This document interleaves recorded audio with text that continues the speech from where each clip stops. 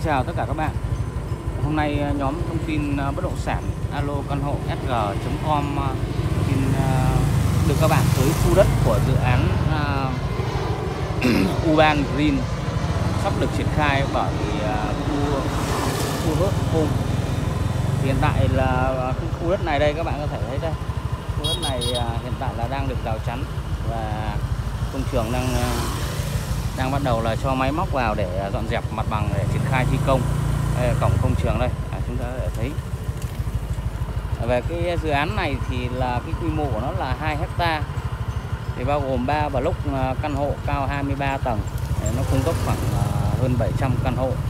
Thì ngoài ra thì có những cái căn à, shop hậu khối đế nữa.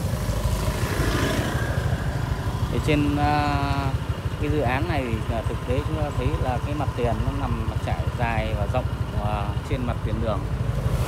Hiện, hiện tại thì cái đường này thì nhìn thì thấy nó có vẻ là hơi nhỏ nó chỉ cỡ khoảng 6 mét thôi. À, nhưng mà nếu mà tính ở nhìn ở cái cái, cái, cái chỗ mà công trình thi công người ta dựng rào chắn ấy, thì có thể cái cái đường này nó mở rộng lên tới tầm khoảng 15 20 mét.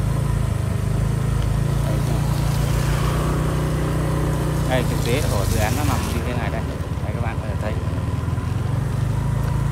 à, tính từ à, dự án mà ra đến cầu Bình Triệu nó rơi vào đâu đó tầm khoảng à, hai cây hơn hai cây một chút à, đi rất là tiện. Đấy, công trường máy móc đang thi công này. Đấy. thì được biết là dự án này thì hiện tại là bắt đầu là khởi động và sẽ là mở bán vào trước Tết âm lịch thì nó rơi vào đâu đó khoảng vào tháng cuối tháng 12 và đầu tháng 1 năm nay. Đầu tháng 1 năm sau. Đấy, khu ờ, khu này đây. Khu này là trước là tôi đã, đã đã quay lại ở đây rồi. Là trước thì nó có một tên khác ở Ren Bắc à, hay là Racer Bắc. Đây là trước vào thì ờ, để tham khảo thì là thấy là cái cái khu đất này là nó khá là là là là là, là rác và và và không không có được dọn dẹp sạch sẽ. Đây lần này thì là dọn dẹp sạch sẽ này. Đây, dự án có tên là Cuban Green nghĩa là xanh. Thì à, một số cái phối cảnh à, thiết kế được tiết lộ thì à, thấy là cái không gian xanh và cái diện tích xanh được chủ đầu tư khá là chăm chút là kỹ lưỡng. Thì hiện tại là mới có dò dỉ một số cái phối cảnh thì chưa có những cái thông tin phối cảnh chính thức truyền thông của chủ đầu tư đưa ra. À, và nó cũng chưa đầy đủ lắm. Thì là sắp tới khi này chúng tôi đến thì là sẽ là cập nhật về cái thông tin của của những cái phối cảnh và cái thông tin giới thiệu nó sẽ chi tiết hơn.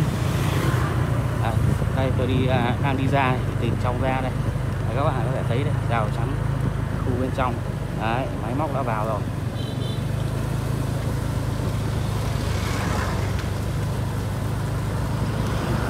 Đường xá thì hiện tại thì nó cũng hơi bất tiện nhưng mà chắc chắn thì sẽ sớm mở rộng thôi.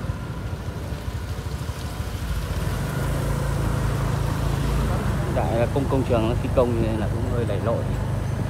Đấy, máy móc bên trong đấy đây những những cái, cái, cái cột điện mới đây thì chắc là sắp tới thì là à, cột điện này sẽ di rời vào trong để mở rộng đường. Cái cây cột điện mới chờ để di rời di rời những cột cũ này. Đấy, ra đây, đi ra ngoài này đây. Tôi đi ra ngoài này ngay gần đây thì là có một cái chợ là chợ tạm sau này nếu mà mở đường, mở rộng đường ra đây thì chắc là chợ này sẽ cũng còn nữa. Thực sự cái đường này mở rộng ra thì là khá là đẹp. Tính vào thì nó cách khoảng 40 mét thôi. Từ dự án à, đi ra quốc lộ 113 à, thì là khoảng 40 mét. Quốc lộ 13 về hạ tầng quốc lộ 13 này thì là dự kiến sắp tới thì thành phố Hồ Chí Minh cũng là sẽ mở rộng quốc lộ 13 đây sẽ là một cái trục đường giao thông là khá là tốt và đẹp và quan trọng nó kết nối luôn với lại quốc lộ 13 và về phía ờ, thành phố mới Bình Dương. Thì nó là trục đại lộ của thương mại của Bình Dương đã được quy hoạch rồi. Đó. đây là phía trục ờ, quốc lộ 13 đây các bạn ạ. Đây, đây là hướng đi xuôi về ờ, Bình Dương.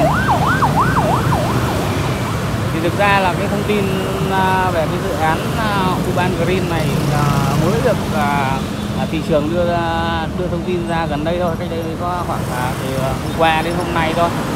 Ừ, à, thông tin về chi tiết về giá bán thì hiện tại là cũng chưa được à, chủ đầu tư rủ moi công bố gì. Nhưng mà trên thị trường thì đang đưa ra mức giá là khoảng 50 đến 55 triệu mét vuông. Thì cái, cái mức giá này thì hiện tại thì à, cũng chưa biết là nó hợp lý hay không thì là cần phải đánh giá. Thứ nhất là về cái diện tích và cái nội thất bàn giao ở bên trong. Còn vị trí ở khu vực này thì là khá là tốt. Tại vì trên cái trục đường này thì cũng có nhiều cái dự án à, à, đã được triển khai. Ví dụ như là đối diện bên này mé bên kia thì nó là cái bạn bạn Phúc City thì là đang à, đi vào hoạt động rồi và chuẩn bị là hoàn thiện. Thì cơ bản nó đã, đã hoàn thiện khoảng 80-90 phần trăm. Khu Vạn Phúc City thì nó còn cái khu căn hộ nữa triển khai thì là là xong hết thôi. Cảm ơn các bạn đã quan tâm.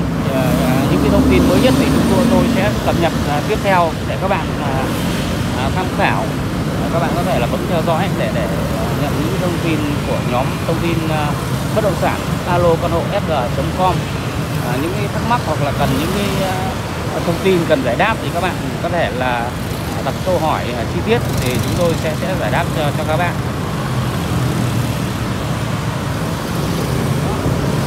Vâng, xin chào các bạn. Cảm ơn các bạn đã theo dõi. Tạm biệt.